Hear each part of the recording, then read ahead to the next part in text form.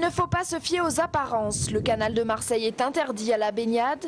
Pourtant, il n'a pas l'air dangereux et il serait même tentant d'y piquer une tête. Quand on le voit euh, comme ça, on n'a pas vraiment l'impression euh, qu'il peut être dangereux.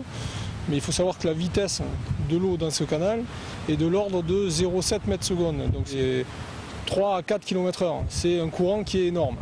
Avec une profondeur de plus de 2 mètres et des berges très pentues et glissantes, le canal de Marseille est très dangereux.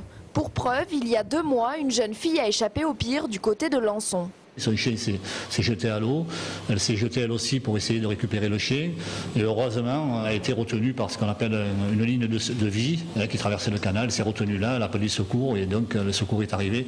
Donc ça ne s'est pas, transformé en tragédie mais ça, ça aurait très bien pu. Pour éviter les tragédies, les campagnes de prévention s'intensifient avant l'été dans les écoles et les communes bordant le canal.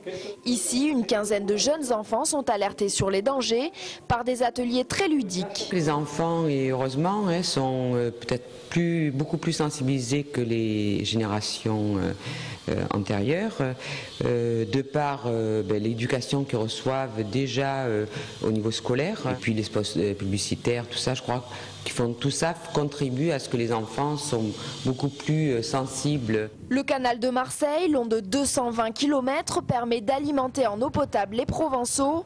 Indispensable, il n'en est pas moins dangereux.